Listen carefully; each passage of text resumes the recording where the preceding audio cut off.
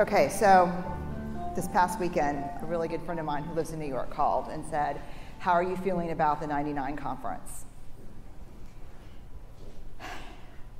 And my answer was, What do you think is the least invasive way to extract eyeball juice from a first grader?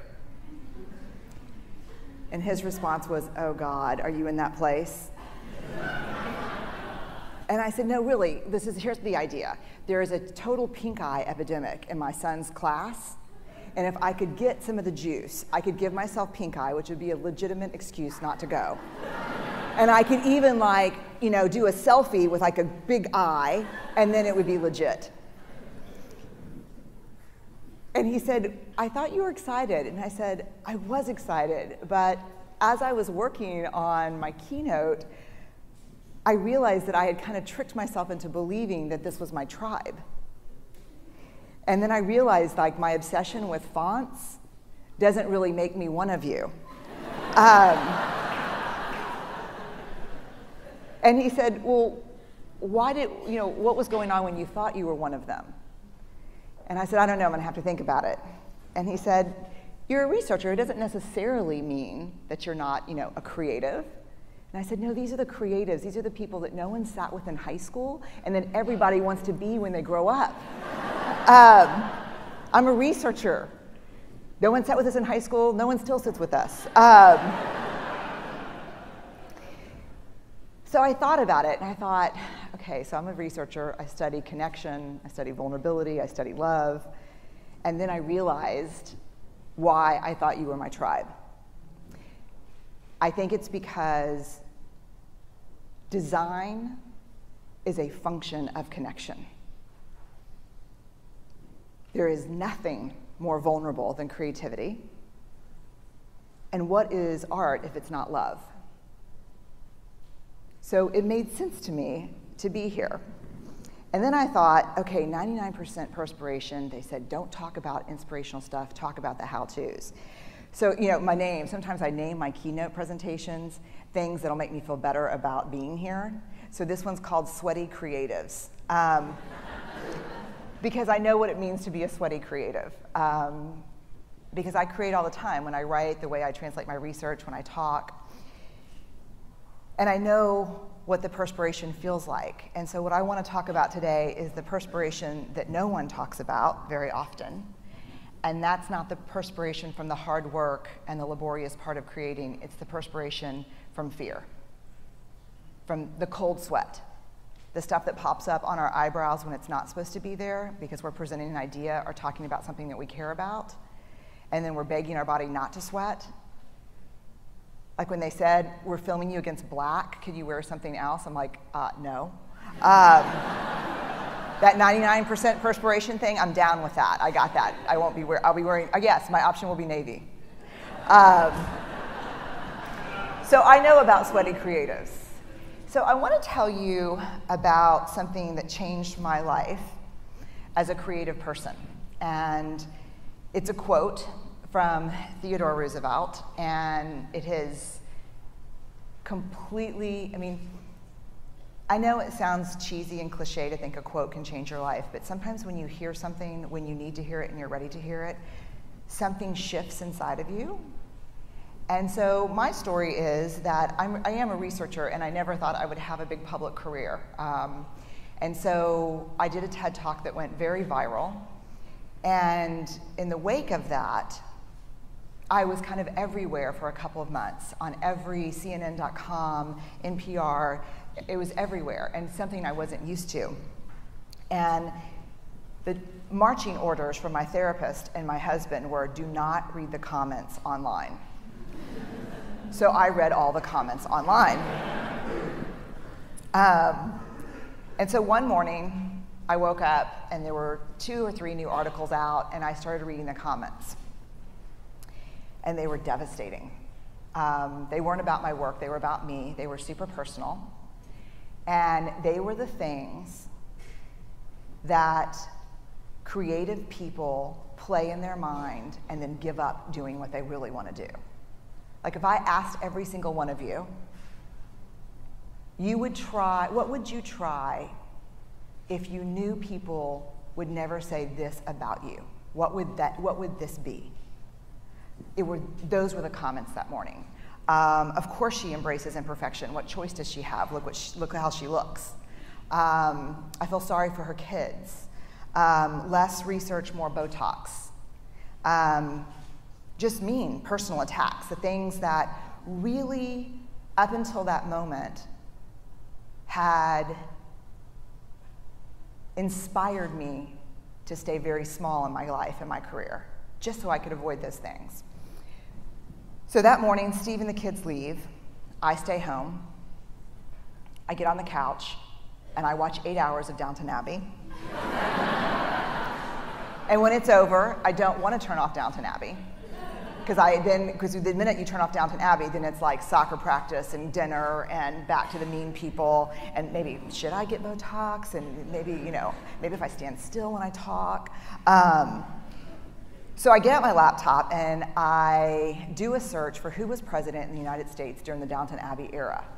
Have you ever done that? Like you, are numbing with TV or a movie, and so when it's over, you just like stay in that space by like learning more about the actors and what's going on.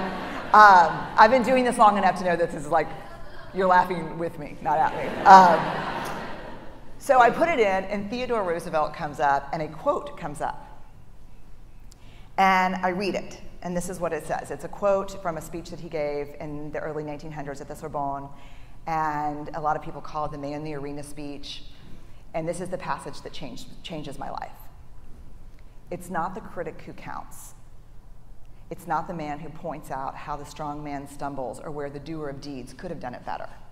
The credit belongs to the person who's actually in the arena, whose face is marred with blood and sweat and dust, who, at the best, in the end, knows the triumph of high achievement, and who, at worst, if he fails, he fails daring greatly. So the moment that I read that, I closed my laptop, and this is what shifted in me. Three huge things. First, I spent the last 12 years studying vulnerability, and that quote was everything I know about vulnerability. It is not about winning, it's not about losing, it's about showing up and being seen.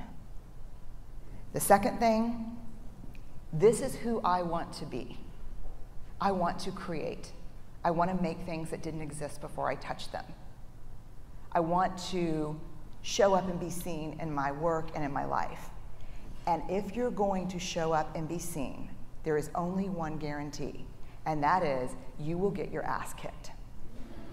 That is the guarantee. That's the only certainty you have. If you're going to go in the arena and spend any time in there whatsoever, especially if you've committed to creating in your life, you will get your ass kicked. So you have to decide at that moment, I think for all of us, if courage is a value that we hold, this is a consequence. You can't avoid it. The third thing, which really set me free, and I think Steve, my husband, would argue has made me somewhat dangerous, is kind of a new philosophy about criticism, which is this. If you're not in the arena also getting your ass kicked, I'm not interested in your feedback. Period. That's it. You know, I, I, you know, if you have constructive information, feedback to give me, I want it. And I'm an academic. I'm hardwired for wrestling around with stuff like that. If you say, hey, you forgot all this literature, or hey, you should have done this, or terrible sentence construction over here, like, let's go, let's, let's do it. I love that. But if you're in the cheap seats, not putting yourself on the line, and just talking about how I could do it better. I'm in no way interested in your feedback. So I know about the sweaty creative. And so what I want to do today is I want to talk very specifically about the arena. This is where this is where we sweat. How many of you know this feeling by just looking at the picture? yeah, show of hands. How many of you know this feeling? So this is what we do down here. Like I don't know what you do down here. But what I, I, I set up camp down here. I like string up twinkle lights. I order takeout food. Um, I live down here sometimes, just dreaming about the day that I come up and how awesome it's going to be. Like, but I, I stay down here a lot. And here's what we do. What the arena's right there. You can see it. The light's there. And the fear is this I'm scared, a lot of self doubt, comparison, anxiety, uncertainty. And so, what do most people do when they're walking into the arena and those things are going to greet them up top? What do you do? You armor up, right? This is where I would imagine the old days that they got all their stuff on.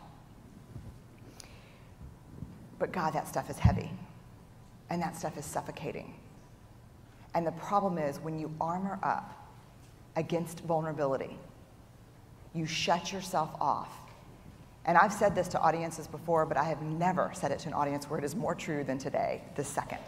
When you armor up, you armor up in this hallway, you shut yourself off from everything that you do and that you love. Because vulnerability is certainly a part of fear and self doubt and grief and uncertainty and shame, but it's also the birthplace of these. It's the birthplace of love, of belonging, of joy, trust, empathy, creativity, and innovation. Without vulnerability, you cannot create. So, what I think you're asked to do as a creative on a daily basis is walk through this hall, get to the top of the stairs, and get naked. of course. get naked. Get really real. Put yourself out there and walk out there so people can see you and see what you've made and see what you're doing. So when we walk out, this is what we see lots of seats, lots of people. But we focus in and we focus on this the critics. I used to think the best way to put your work out into the world is to make sure the critics are not in the arena. But you have no control over who's in the arena. And the best way I have found is to know that they're there and to know exactly what they're going to say to you, because each of you know. The three seats that will always be taken when you walk into the arena, when you share your work with someone, the three seats that will always be taken are shame, scarcity, and comparison. Shame, completely universal human emotion. We all have it. It's that gremlin that whispers, You're not, you're not enough. Or if you're feeling pretty confident, like this is, I went through this like in a, when Scott was talking. I went back and forth from like a, like a ping pong table with gremlins, back from oh my God, I'm not enough, I'm not enough, to I can do this, I can totally do. Oh, who do you think you are?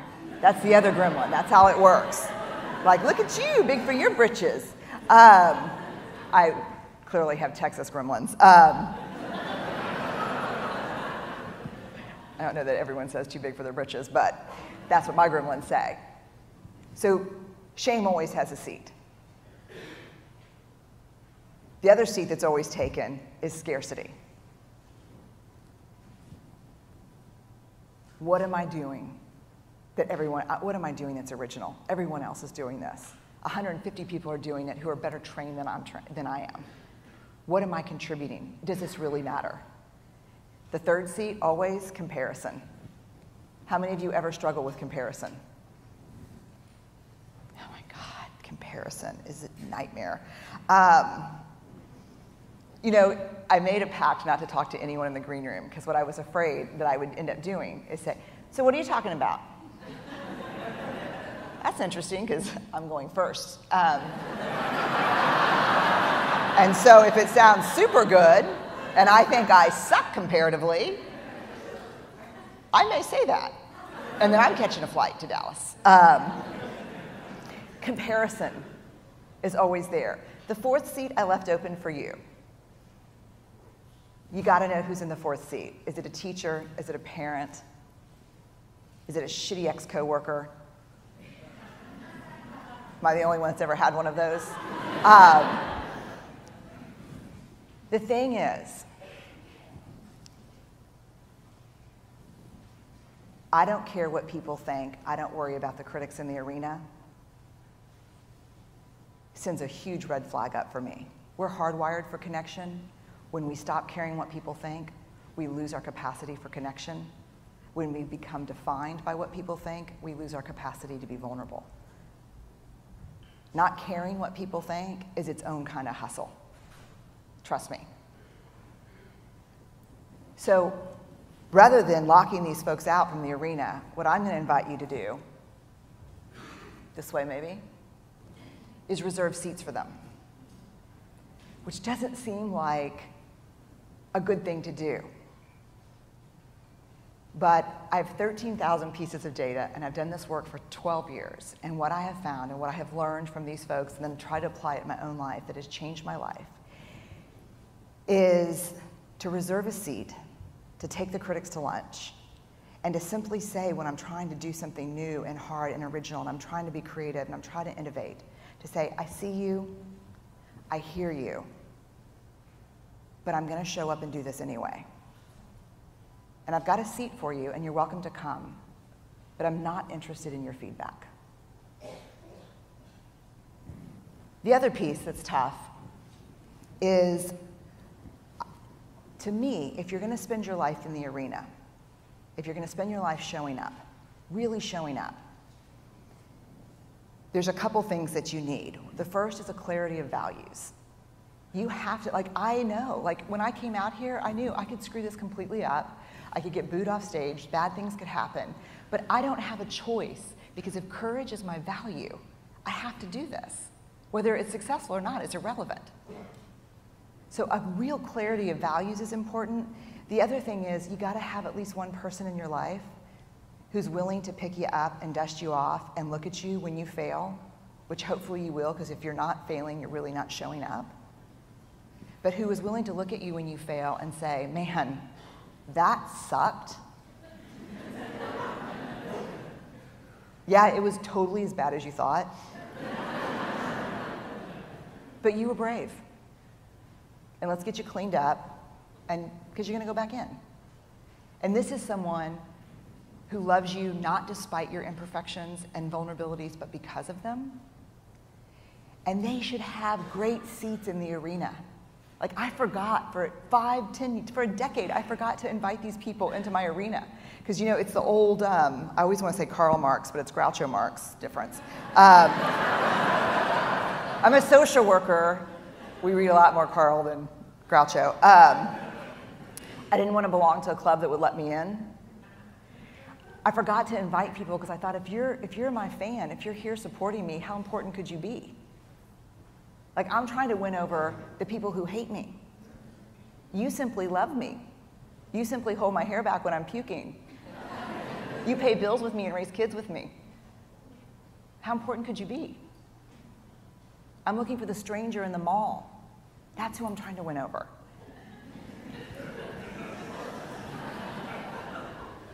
Yes or no?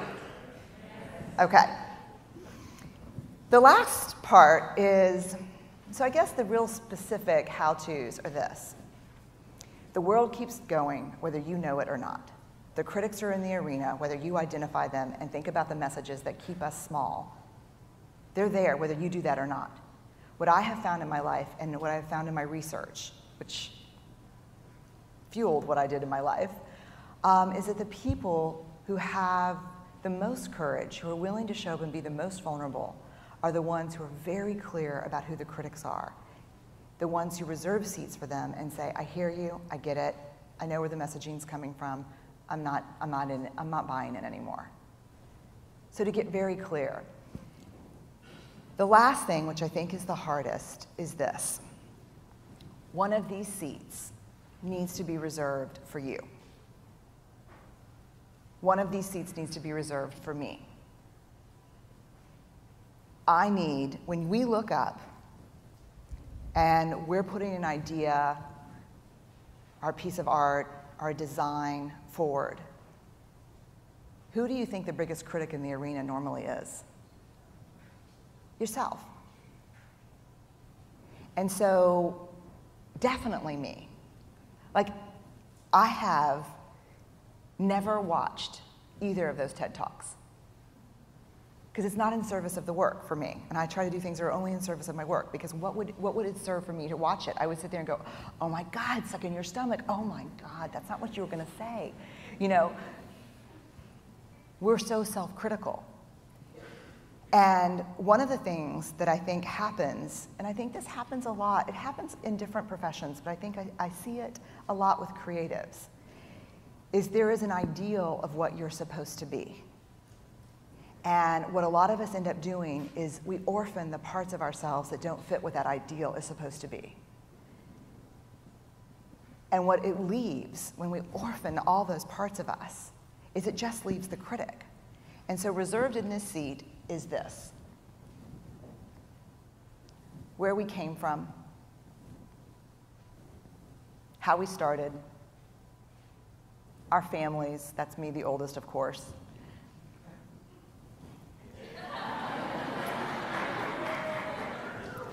the lost years, the years where I was so lost and confused and hurt and disillusioned that I thought the only path to freedom was a flock of seagulls haircut. Um,